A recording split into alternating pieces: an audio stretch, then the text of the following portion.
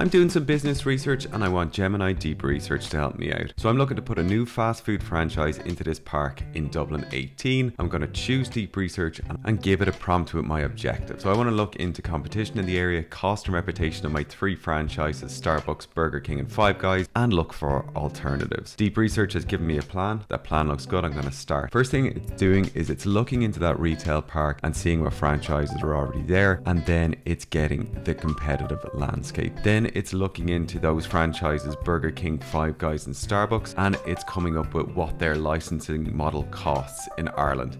Finally, it looks into the local market and alternatives. And now my report is ready. We start off with an executive summary all about Carrickmines Park, what the footfall is, what restaurants are already there, everything that was on my list is listed here. Then goes into the three franchises, what they cost in Ireland. So it goes into Starbucks, what it's going to cost me to build this franchise out. Same with Burger King and the same with Five Guys. Once it's finished with those three, I then get a comparison table which is very useful, of the three franchises, the cost, and the comparison between the three. Then we're looking into the local market, we're looking into the Irish fast food and market dynamics. Then we're looking at alternative franchise options, and it's come up with a lot of great ones here. And then finally, it gives me an overall recommendation. It says, do not invest in any of these three restaurants. You should probably invest in something else. And here's some Irish alternatives that look good to me. I hope you found this video useful. Follow for more.